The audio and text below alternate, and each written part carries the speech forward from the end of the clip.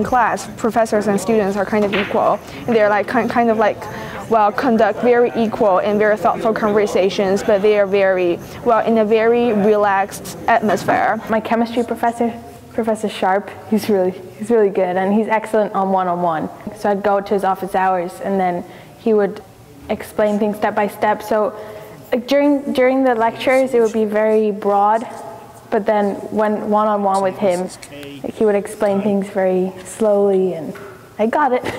There's a healthy relationship between student and faculty. For example, one specific one, we have, um, for the most part, we sit out and we have pizza together every Wednesday. The idea is we, you know, we have lunch together and there's that outside of classroom um, friendship.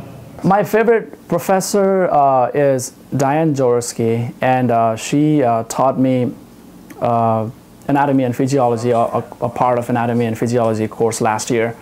And uh, the reason why I like her is because um, she taught me about like spinal cord and uh, the brain functions, and it just she she's such an amazing professor. It's hard to pick a most favorite one, but I would say that all of them are very supportive to me. I can actually feel that when I'm talking to my professor, they are trying to, well, they're eager to know me more, which make me feel really warm. I would say one of the most um, outstanding experiences I have of any hands-on project was for my capstone project. And for engineering, um, every discipline is required to have one. The project centered around NASA's CUBE satellite initiative. They definitely have a lot of constraints when it comes to design. Uh, sort of pushes the bar for you as an engineer in the making. I'm looking forward to um, the future because we are going to go and work with animals and that's, and that's the way I learn. Like I need to learn with hands-on. There are a lot of hands-on learning experience at UVM, um, and, and it's, it's with all different majors.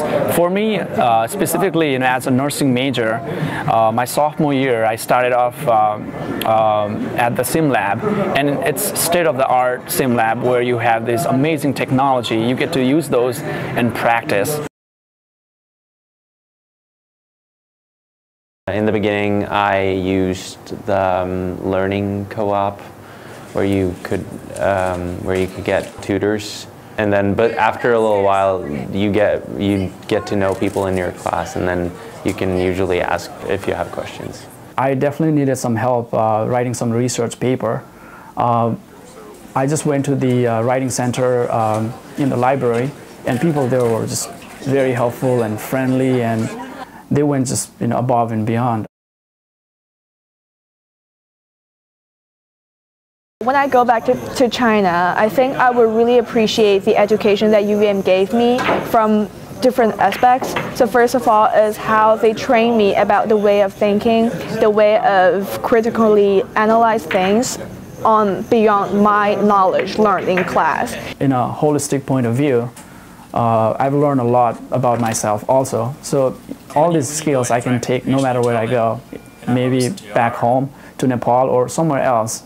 It's, it has made me a lot better at speaking English and uh, you will, you'll get a lot of contacts from a different place in the world. I'd rather you spend the beginning part of your youth and your 20s making yourself stand out and be unique rather than be just one of the seven point something billion out there in the world.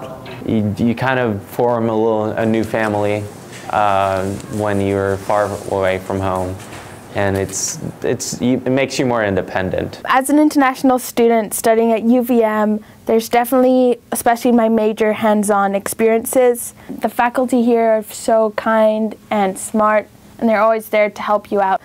The idea to come study in a different country, and especially in UVM, for me was a big step, but it was definitely a great one.